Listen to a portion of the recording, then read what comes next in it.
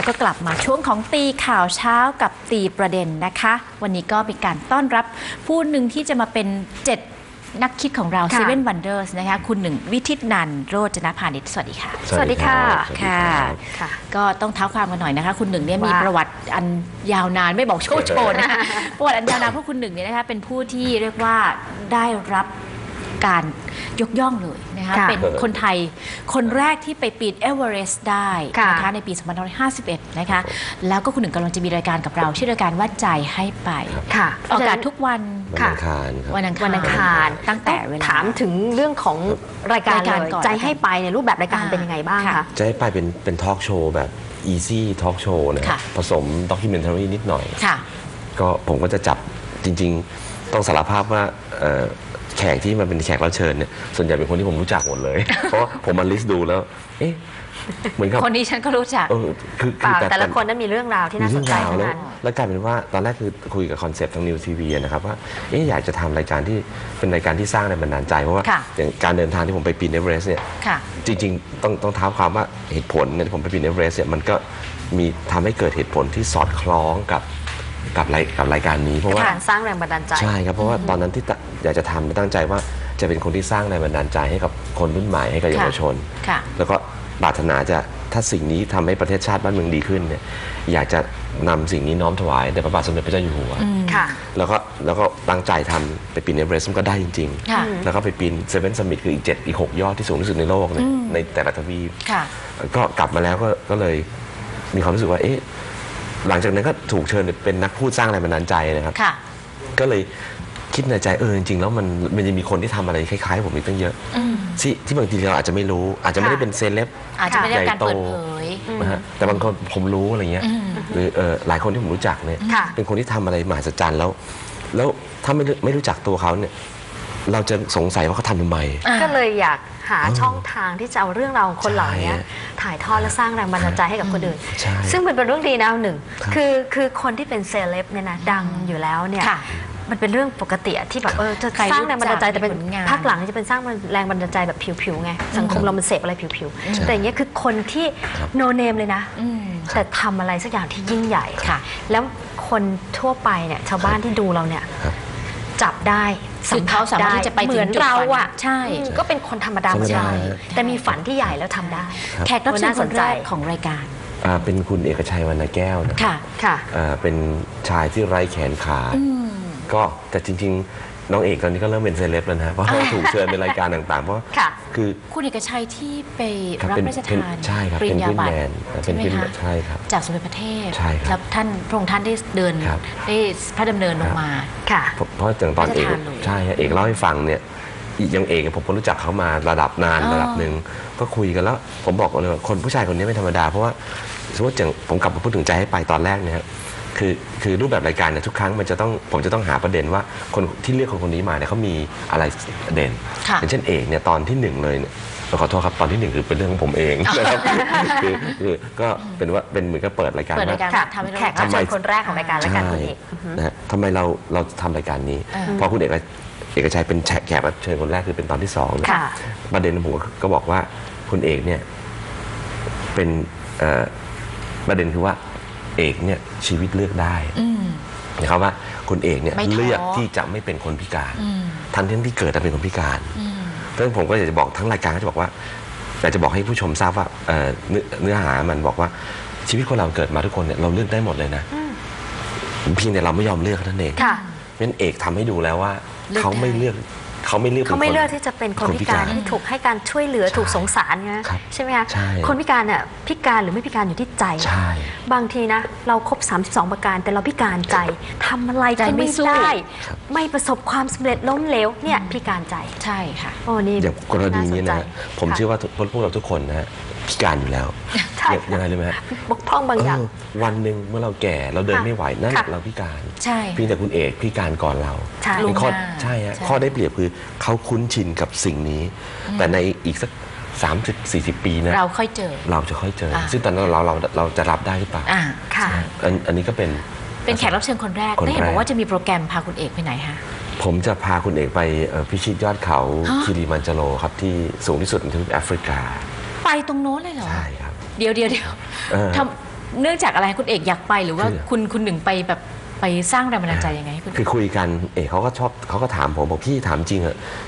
เอเวอเรสต์มันมีคนตายทั้งเยอะแยะ อ๋อจริงโอ้ปัดปีนแล้วก็ตายแล้วพี่ไม่กลัวเหรออนะผมก็ไม่กลัว เราก็ต้องตายอยู่แล้ว เออ แล้วพี่ไปทำไมถามจริง ผมก็เลยบอกว่าถ้าเอกอยากรู้นะเอกไปกับพี่ไหมล่ะ บอกผมจะไปได้เหรออ่าเอางี้ไปลองปีนคิริมันจาโรก่อน ตอนแรกพูดเล่นๆนะฮะค่ะ เขาบอกสูงขนาดไหน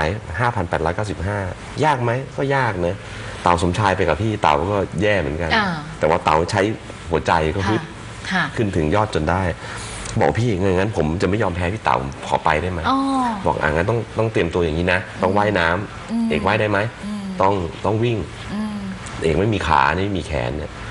ปรากฏว่าพูดเสร็จปุ๊บเขาไปว่ายน้ำ แล้วเขาว่ายเก่งเลยนะ ตอนนี้เตะฟุตบอลนะฮะเหรอคะ กระดอกกระแดกมาเตะฟุตบอล แล้วก็อ๋อ พี่ผมจะไปละ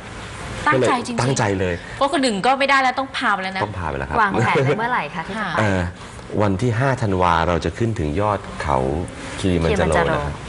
ใช้เวลาเท่าไหร่คะ ใช้เอ่อปกติมนุษย์ทั่วไปใช้ 6 วัน แต่คุณเอกอาจจะใช้9ถึง12 วัน ค่ะ ต้องให้เวลาคุณ ครับ เดี๋ยวจะบอกคุณผู้ชมนิดนึงคิลิมันจาโรเนี่ยที่ไหนแล้วเป็นยอดเขาที่สำคัญครับยังไง ยอดเขาคิริมันจาโรเนี่ยสูงที่สุดในทวีปแอฟริกาอยู่ที่ค่ะ ประเทศทันซาเนียนะครับ ก็เป็นหนึ่งใน Seven Summit ค่ะ Seven Wonder ค่ะ ก็ Seven Summit Seven Summit ค่ะ Seven Summit นี่มีที่ไหนบ้างนะคะอ่าพอจำได้ไหมคะมีเอ่อในทวีปเอเชียนี่คือเอเวอเรสต์นะครับเป็นค่ะสูงที่สุดค่ะแล้วก็ค่ะสูงที่สุดในโลกค่ะในทวีปเอ่อแอฟริกาก็คือคิลิมันจาโรคิริมันจาโรค่ะในทวีปอเมริกาเนี่ยก็คือเดนาลีค่ะเดนแมคคินลีย์นะฮะอเมริกาใต้ก็คืออาคอนกากัวอยู่ที่อาร์เจนตินาอ่าอ่าทวีปออสเตรเลียคือคาร์สเตนซ์พีระมิดนะครับค่ะอ่าหกเนี่ยทวีปยุโรปคือเอลบรูซอยู่ที่รัสเซียค่ะและสุดท้ายเนี่ยขั้วโลกใต้แอนตาร์กติกา อันสุดท้ายเนี่ยแหละแอนตาร์กติกาน่ากลัวที่สุดเลยแอนตาร์กติผมกา ไปมาแล้วนะ ไปมาแล้วแล้วเป็นยังไงบ้างไม่ก็ได้ค่ะลบ 60 องศาเซลเซียสนะครับ โอ้โห ถอด เรามีเวลากางเต็นท์4นาทีฮะค่ะคือคือพื้นธรรมดาของเขาก็หนาวอยู่แล้วนี่ขึ้นยอดของเขาด้วยเหรอคะ ใช่ฮะ ลบ 60 องศา ใช่ครับ อันนั้นผมขึ้นไปมาแล้วอ๋อค่ะ เดี๋ยวก่อนมีภาพไหมคะ ต้องถามแรงบัในนดานี้ลไม่มี ต้องถามแรงบันดาลใจว่าอยู่ดีๆ คิดยังไงถึงอยากไปปีนเขาอย่างเงี้ย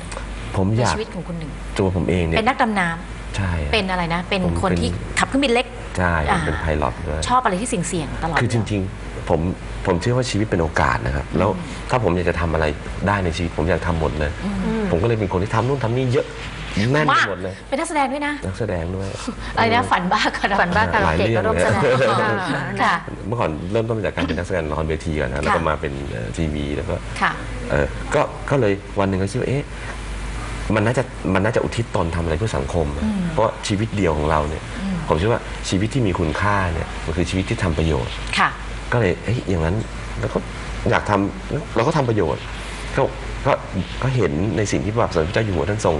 ทรงทรงทำเพื่อประชาชนนะค่ะเอ๊ะ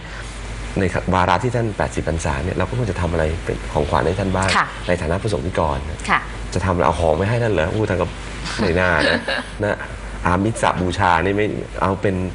ปฏิบัติแบบผมแล้วกันอะก็เลยสร้างสัญลักษณ์อืมก็อยากจะ นำพระบรมฉายาลักษณ์ไปชูไว้บนแผ่นดินที่สูงที่สุดในโลก Everest แล้วก็ไปเอเวอเรสซึ่งต์ ทำได้ดิฉันไปมาแล้วอ่าฮะดิฉันไปขับเครื่องบินลอกไงอ่าฮะ มันมีเครื่องบินของยักษ์อะไรนะยักใช่ฮะกี้ มีฮะ เยติ เยติเยแต่ติก็เป็นเยติอันนี้ไปง่ายผมอันนี้ของเนปาลนี่ แป๊บเดียว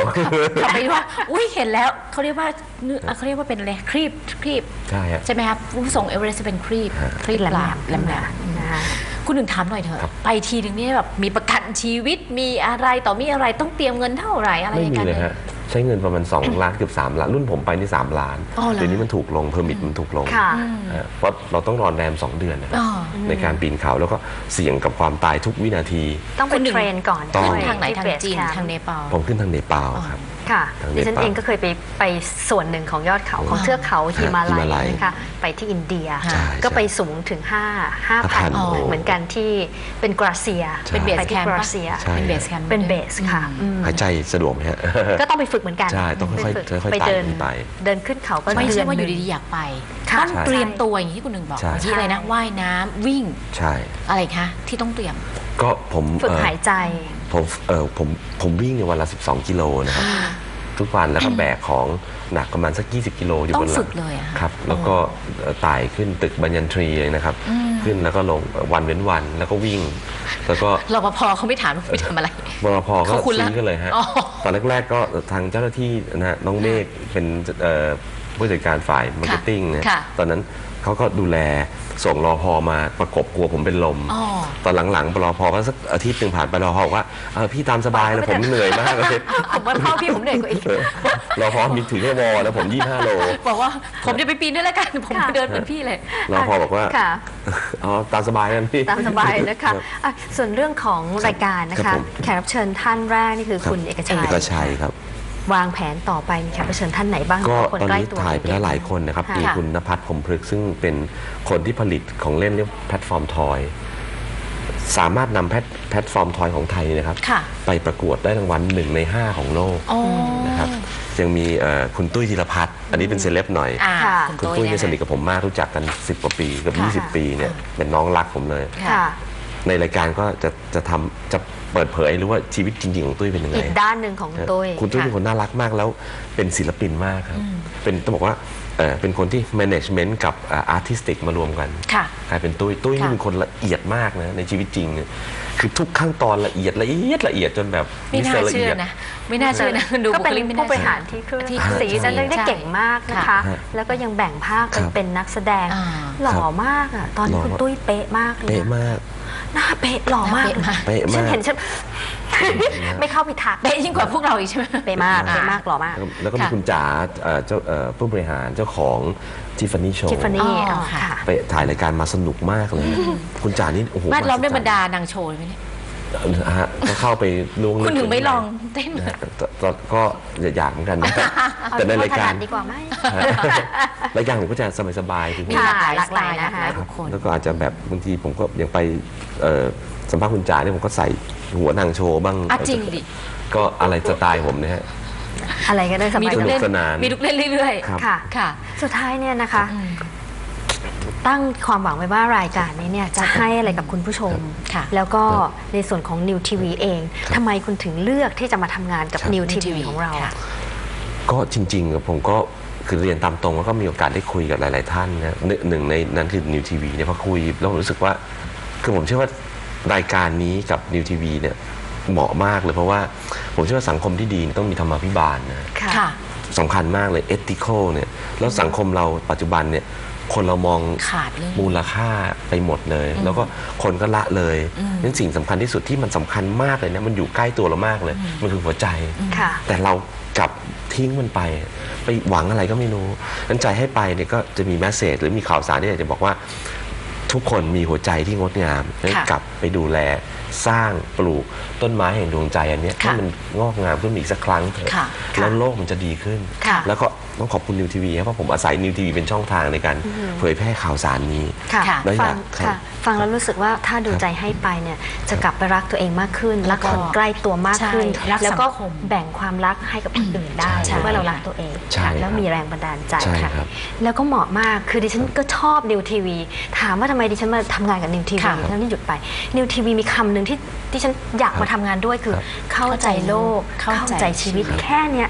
นะคะแค่นี้เลยใช่เราไม่ใช่เป็นเรื่องของความบันเทิง เราเป็นค่ะสาระบันเทิงใช่ซึ่งเรียกว่า edutainment นั่นเองใช่ค่ะนก็เชื่อว่ารายการของคุณหนึ่งจะได้รับความนิยมค่ะ ประชาสัมพันธ์เลยค่ะ เมื่อไหร่อะไรยังไง อ่าทุกวันอังคารนะครับ ค่ะ เวลา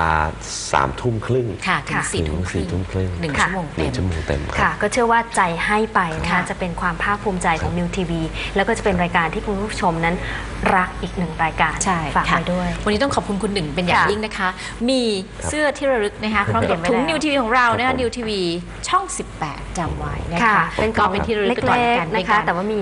คุณค่าทางจิตขอบใจคุณมากต้อนเลยรับครับ เข้าสู่บ้านของเรา ค่ะ ขอบคุณขอบคุณครับค่ะทีมงานขอมากเลยครับวันเนี้ยครับผม สวย เดี๋ยวเดี๋ยวเพิ่มได้ค่ะ เดี๋ยวเพิ่มได้ขอบคุณคุณหนึ่งมากนะคะ ขอบคุณขอบคุณค่ะ ครับ